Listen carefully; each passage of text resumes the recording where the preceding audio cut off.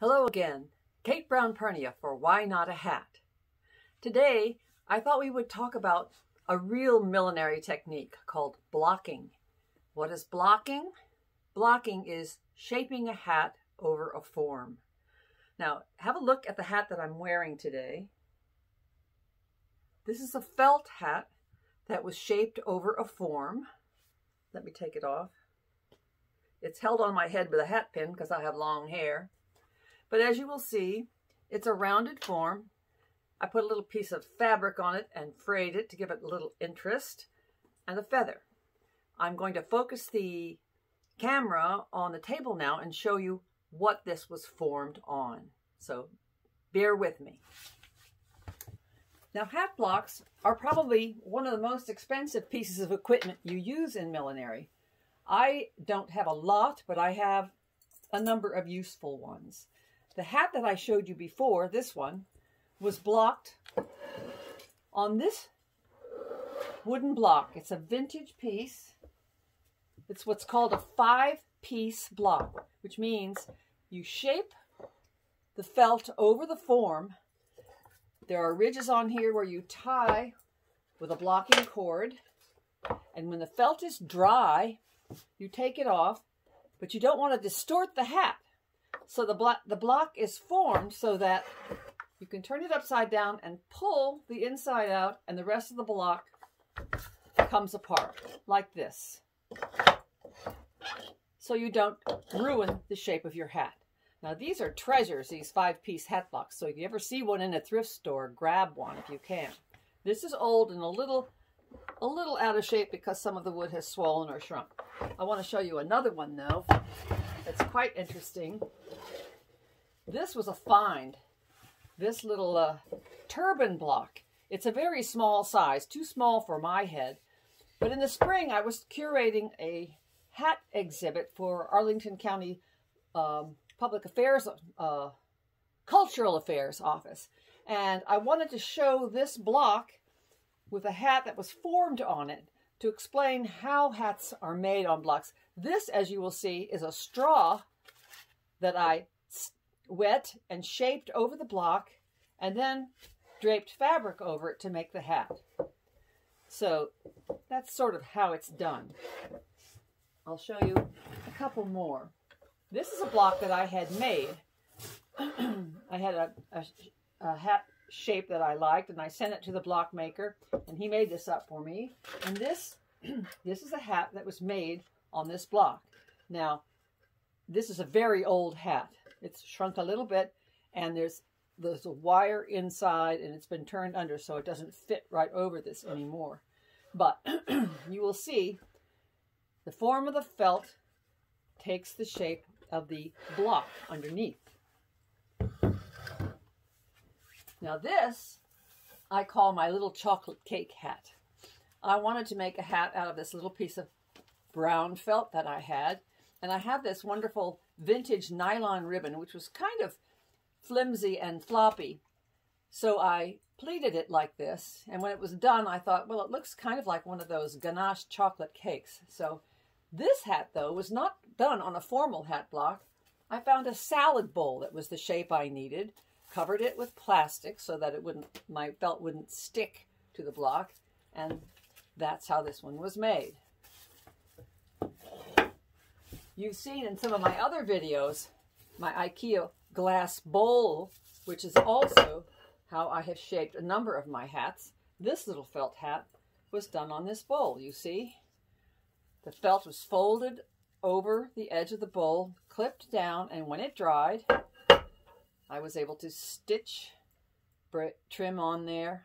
I just had to adjust this because one of the things you have to be careful about when you're doing a, a block like this is when you put your wire in your edge, um, I got a little too much wire in there and it flattened out my hat. So recently I had to undo the stitching in the back, shorten the wire and pull it together so that it would go back to its original shape. So that's just one of the tricks. Get rid of this. Now, what do you use? Oh, I want to show you another block before we go any further. This is a hat that I made on a two-piece, two, two different blocks. This is felt with some little felt balls on the inside. Matches my winter coat. And the brim was blocked on a, a, block like this. Now, normally this would have a crown block that would go with pegs into the top, and you could either block the whole hat together or you can block it in two pieces and sew it together. What I did, I made a little block. I made a buckram form and then covered it with plaster, covered it over with foil, and I laid it on top. So that's how I made that block, that hat. You see it has a rounded crown rather than... So, if you don't have it, make it. Let's talk a little bit about felt. Now, there are, there are several hats I have here to show you.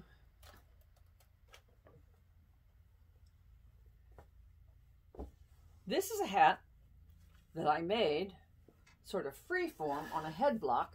That's the other kind of block, you, and probably the first block you should buy is a head block because it's the most useful of all. But this hat, I freeform shaped on the head block with a hat that I found on sale at, at uh, Target. At the end of the season in the early spring, a lot of the winter hats go on sale and they're very cheap. So if you're just learning and you don't want to invest in an expensive, beautiful velour felt, you can sometimes find a vintage piece at a thrift store or at a Target or a less expensive store and you, what you want to do is look for a hat that doesn't have trim glued on it. You want hats that have trim stitched on. So you can take all the stitching and the ribbons and whatever out of it and you steam it. And this, this hat began as this. So you see, you can really transform it. It's not the best quality felt because it was a Target hat, but it's 100% wool. That's what you want, 100% wool or 100% fur felt. And uh, you've got something to work with. And I'm going to show you how that works in just a minute. So here's the head block. Here are a couple of other felts. This one I wanted to show you because this is a really lovely um, fur felt, I believe. It comes from the Czech Republic. It still has the uh, label in it. And it's a very soft, very fine felt. Quite a difference between that and this one. You can just tell by the feel and the texture. So that's something to watch for when you're shopping. But nowadays, you can buy hat blocks, hat bodies. This is a capeline, but you can also get them in what's called a hood. This shape is called a hood or a body. But anyway, um, you can buy, this is a velour felt, and it's called velour because there's a, there's a special treatment done to the outside of it to give it a nice velvety texture. But you can get wool felts and velour felts from any millinery supplier still today. Look for wool or fur felts because those are the best. Now, I decided to get us started just so you can see how it works. We'll see where we're, where we're going. If you don't have a hat block, but you have a head block, you can still do freeform work like I did with that hat, or you can do a cloche. So I thought today we'd try to do a sort of 1920s cloche style, which is kind of making a comeback these days. Cloches came into popularity in the 1920s when women started bobbing their hair, cutting it off. Don't go there, Steve. And uh, so what I've done is I've taken my velour felt capeline and I sprayed it with water earlier today so that the water could soak in because it's, it's, it's water or steam that will make this work for you. Felt is just animal hair that clings, the various hairs cling to each other with barbs, and that's what makes felt. If you've ever, you should take a look at some um, YouTube videos on how to make felt, and you'll understand how it works. What I'm going to do here is steam this wet felt a bit. and see if I can get it going. when I was in millinery school in New York, we had a steaming tent in the middle of our work tables. And we would put our hats with the, even with the blocks sometimes all the way into the steam tent. The hotter and wetter the felt is, the more easy it is to manipulate. But I don't have a steam tent here, so I've sprayed it with water and I'm just going to steam it nicely. Take the little dog hair off there. You can also dunk your felt into a tub of water. It'll just take you a lot longer for the felt to dry. But just to get you started, I want to show you how magical this is.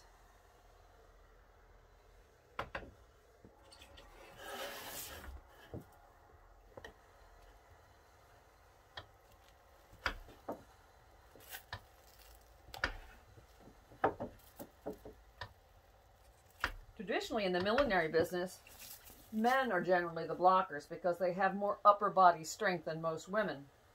I don't know that that's true today, but when they were manufacturing hundreds of hats in the millinery district in the olden days, that's the way it worked. They were probably paid more too, who knows. But as you see, as I steam it and pull it down, it begins to take the form of the block that it's on. And I'm going to steam it directly on that top button where I'm trying to get it to smooth out. Nicely. It's really magical. When I was teaching millinery at Houston Community College, I had to hold off on teaching felt blocking because if I did it early in the course, that's all people wanted to do. It is so much fun. I don't have any particular plan for this hat. So we're going to see what happens with the steam and the pulling and the shape of the felt. Now some of the tools you need when blocking are pins. These are millinery push pins. They're 5 8 inch so you can stick them into the uh, wooden block. Now if you're using a glass block obviously you can't do that so you have to improvise.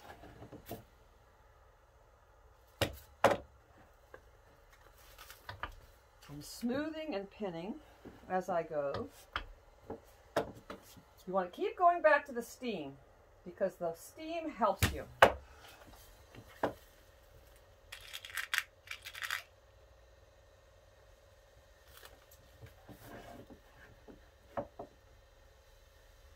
Now what I want to do is pull this up a little bit so that the face will show.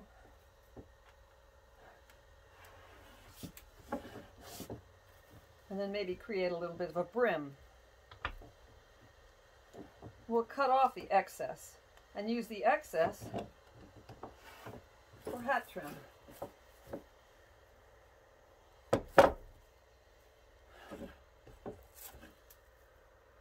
Now on a hat block you would use cord and work the cord into the ridges on the hat block to help it hold it in place. But since I'm working on a head block here, I'm not going to do that. I'm using my thumbs to shape.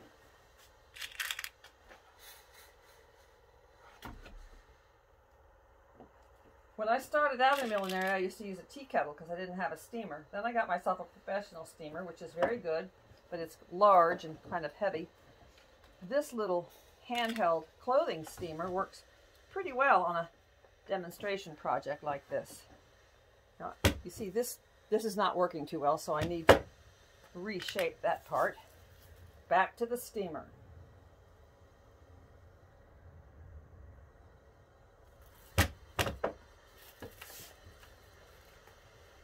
Nice and smooth.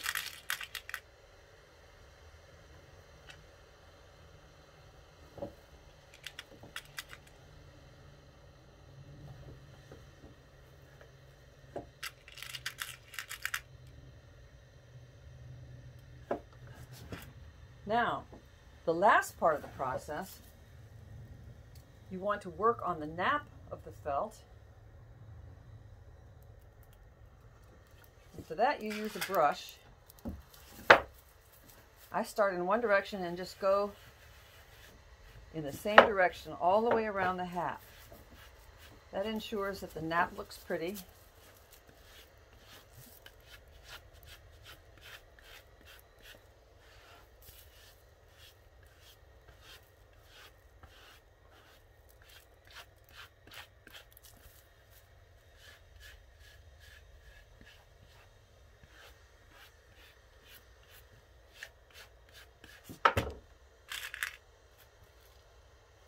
Smoothing out.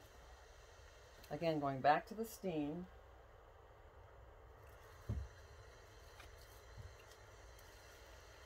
Now this is a neat trick to know because when you buy a hat in a thrift store, if it's a good quality felt and doesn't have any glue on it, you can completely reshape that hat to a new shape, just like we're doing here.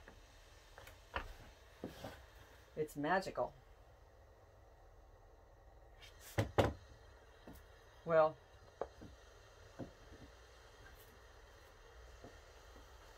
now I'm going to turn up the front to create a bit of a brim.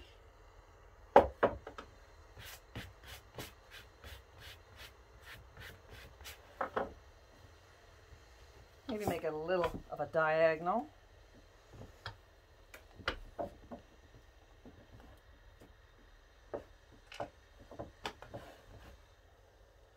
Again, don't forget to go back to the steam. The mistake a lot of my students make is that they, they forget about going back to the steam and they try to shape cold felt. Doesn't work all that well that way. Here we go. You see how nicely it pulls?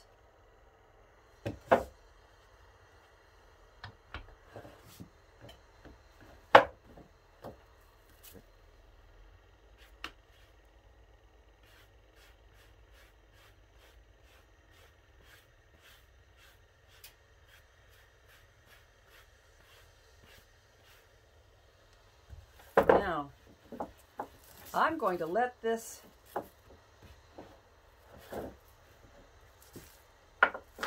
let this cloche dry on the block and we'll finish in another video. But meanwhile, get out there and make some hats. Wear some hats. Have some fun. After all, why not a hat?